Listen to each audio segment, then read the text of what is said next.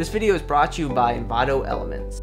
Out of the hundreds of tutorials that we've created right here on Sonduck Film, we have never used the lightning effect inside of After Effects. So in this video today, we're going to use the lightning effect to work with our motion graphics and titles.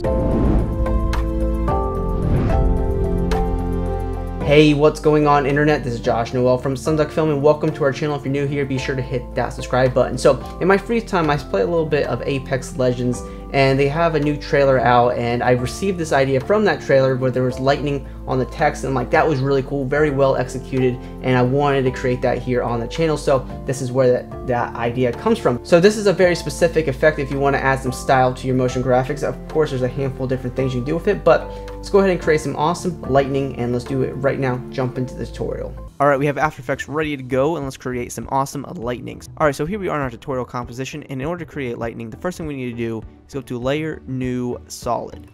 I'll call it Lightning 1, and we'll click OK. Then we'll go up to Effect, Generate, and we're going to add the Advanced Lightning Effect. Now we're rocking. That's awesome.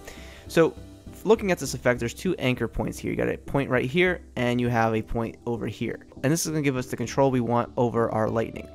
So what we're going to do is take our first point and put it at somewhere, you know, on our title here. And this is called the origin. Then we can grab our second point, which is our direction. And this is going to be where our lightning is going to be, you know, obviously pointed at. So, you know, we can put this right here. That's fine. Now we need to just fine tune this and control how this works. So here's all the parameters here in the effects controls. And the first thing we want to do is go to lightning type, and it's right now set to direction, so it's just going to go on repeatedly.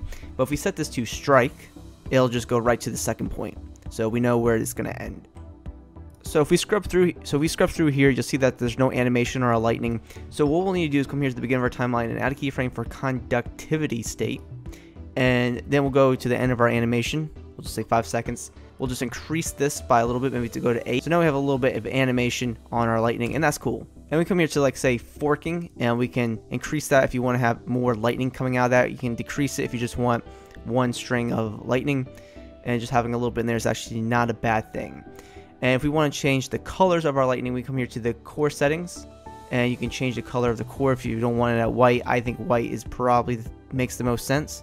Uh, you go to the glow settings and we can change this from a blue to another type of color. Maybe we'll do like a light blue and you can easily just change that glow color however you see fit. So let's go ahead and animate this properly. So what we need to do is come here to the beginning of our timeline and add a keyframe for direction. We'll just hit U on our keyboard to bring up the keyframes. Let's move this direction keyframe forward a little bit, maybe just by like seriously like a frame or two. Then grab the anchor point for the direction and we're to line that over the origin. Now, come here, boom, it just strikes on. That was great.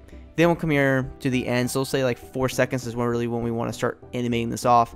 What we can do is add a keyframe for origin and we'll move forward just by frame or two and grab that origin anchor point and put it on top of the direction anchor point. Now, boom, it comes on and goes away. Awesome. So it's coming together, but we need to add a few more things to this just to make this stand out a little bit more. So one thing I like to do is go to Effect, Stylize, Glow, and this will make it glow a little bit more. Bring the glow threshold all the way down to 0%, and let's increase the glow radius to like 120, increase the intensity maybe to 2, and I'll set the uh, glow, glow operation to screen, and that just adds like a little bit more glow to this. Maybe we'll actually increase the glow radius by a little bit more. It's like maybe 200. Yeah, cool, and that makes it stand out a little bit more. Now, one thing I want to do is add like a glow effect to the beginning here. Before we jump further into our video, I want to talk about Envato Elements. You know what I dislike as a content producer? Having to spend hundreds of dollars a month to purchase stock footage, music for my videos, After Effects templates, and graphic design templates for my business. With Envato Elements, I can save a ton of money for my business by spending only $16.50 a month where I can download unlimited music, After Effects templates, stock footage, and so much more for my business needs. If you want to learn how you can save countless time and money, be sure to check our links in the video description, which will take you over to Envato Elements. So typically I want to add like a, a, small like little lens flare to this, but I would usually use like a third-party plugin to do this, but because I want to avoid using plugins, uh, we're going to use a basic lens flare effect in here and modify it. So go to layer, new, solid again, and we'll call this one flare. Then we'll go up to effect, generate, and we're going to grab the lens flare effect. Then we'll come here to lens type and we'll set this to 105 prime. Awesome. And we can bring down the flare brightness maybe to like 20% or so. Could be 30. And then we'll all click the stopwatch for flare brightness. And we'll type in the expression, the most common expression, wiggle. Open parenthesis, 5, comma, do like 20, and close parenthesis. And now we have a little bit of a flicker going on here. Cool. So now what we'll do is we'll grab our flare layer and we'll go to layer, pre-compose, and we'll call it lens flare 1 and move all attributes into new comp. So, and then we'll come here to the top and we'll grab the ellipse tool. And simply all we want to do is draw out a mask around our you know lens flare here. So so we'll click a point, hold down shift and control on our keyboard, do this from the center. And now you'll have this perfectly in the center and then just hit F on your keyboard to bring up the mask feather. We'll feather this out. And then let's toggle switch the modes until you see the blend mode. And I'll set this from normal to screen. And we'll put this right on top of our right where our lightning starts. And then we'll go to like effect color correction and we'll grab tint. And we'll change the white to that nice you know light blue the color palette that we're using. Nice. And then I'll also go to our lightning layer copy the glow and paste it onto our lens flare I'll bring up the glow threshold to maybe like 30-ish percent. So now we have our lens flare and our lightning effect. Now, of course, you want to animate the lens flare on, so just hit T on keyboard for opacity. And let's go to the beginning, set the opacity to 0%, add a keyframe for it, move forward by a frame, add it to 100%, and then just go to the last keyframes for your lightning, and we'll want to animate the opacity off, so go from 100 to 0%. Boom.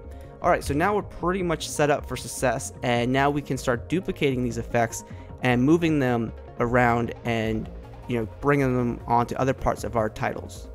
And now you should be able to easily duplicate your lightning and move it around your composition wherever you see fit for it. And of course, the particles and lens flare that I put on here are just for extra elements. And you can grab these elements from one of my favorite packs called Cine Punch, which has over 9,000 assets for After Effects and Premiere and any other video editor that you use. It has a lot of creative assets from lens flares to particles to tons of effects to lookup tables and so much more. If you want to check out Cinepunch and see how you can quickly enhance your After Effects compositions, you can check our links in the description. So now you should have a new technique in your After Effects arsenal, working with Lightning, really awesome. So I hope you guys enjoyed this video and found it useful. If you're new here, be sure to hit that subscribe button because we post multiple post-production tutorials every single week right here on the channel. You can also hit me up on my social media networks. Those links are in the video description. And always, be creative.